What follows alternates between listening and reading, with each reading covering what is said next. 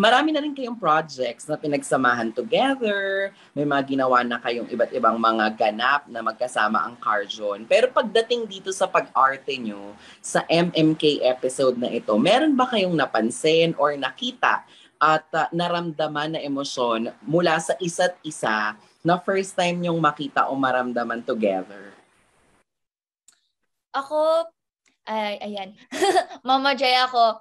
Uh, first time kong makita si Aljon dito na grabe yung emosyon uh, na talagang drama kong drama. Kasi si Pogs sa viral, very light and parang, alam mo yun, um, cheerful lang. And pati sa Hoy Love You, ganun din. And even sa other past projects namin. So dito, kakaiba si Aljan. Talagang binigay niya na parang ang, ang ganda ng mga hugot niya and yung mga emotional scenes niya, feeling ko talagang na perfect niya.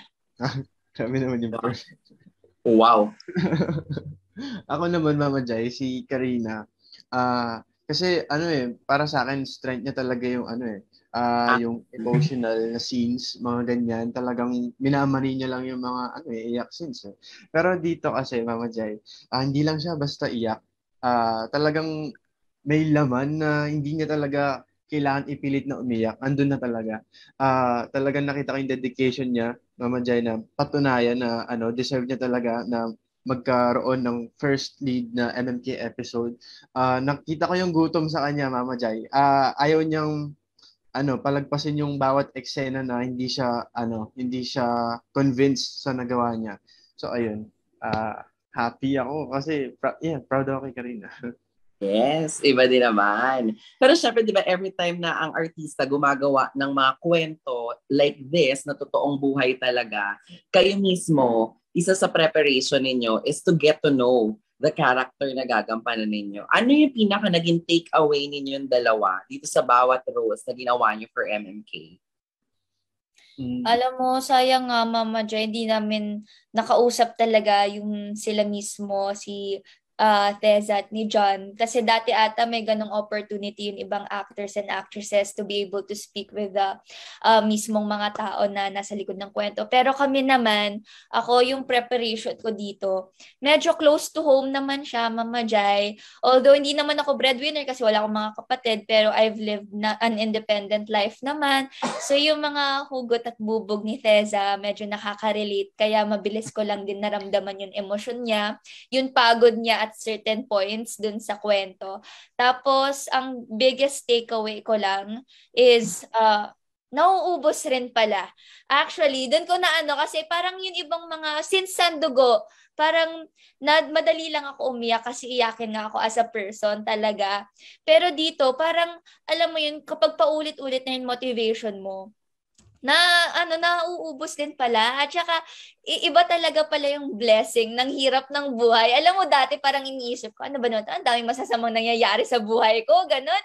Pero ngayon parang nagagamit ko na siya. So yun parang talagang totoo nga na hinahanda ka lang ni Lord for greater things. And ito yung mga um, pinagdaanan ko before, before nagagamit ko na ngayon. Although, pero kailangan pa rin ng patuloy na experience kasi hindi naman pwedeng paulit-ulit na yun na lang at yun yung panghuhugutan mo.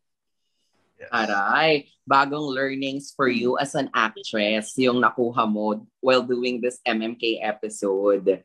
Ikaw naman, Alson. Um, habang binabasa ko kasi siya, uh, nakaka-relate na ako. Parang una ko siyang beses binasa na tatamaan na ako. So alam ko, hindi, magagawa ko to. Kasi kadalasan, kapag may script ganyan, babasahin ko, hindi ako mapakali. Sobra akong kinakabahan. Lagi akong uh, nagkakaroon ng doubt na magagawa ko ba to? O baka hindi, baka hindi ko siya mabigay. Pero nung binabasa ko siya, ay hindi, kaya ko to, mabibigay ko to. Parang ganun kasi alam ko, uh, naintindihan ko yung character ko kung saan siya nanggagaling. Uh, yung take away niya sa akin is ano matuto ang magpatawad sa sa tao at sa sarili mo.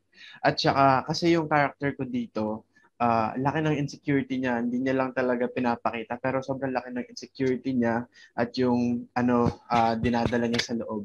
Pero natutunan ko sa kanya na it starts with you eh. Uh, kumbaga, kung may insecurity ka, dapat patawarin mo muna yung sarili mo na okay lang, hindi ka perfect, ano ka ba? Parang basta meron ka naman mga bagay na okay ka, meron din naman mga bagay na hindi. Pero okay lang yun kasi tao ka, yung ganun.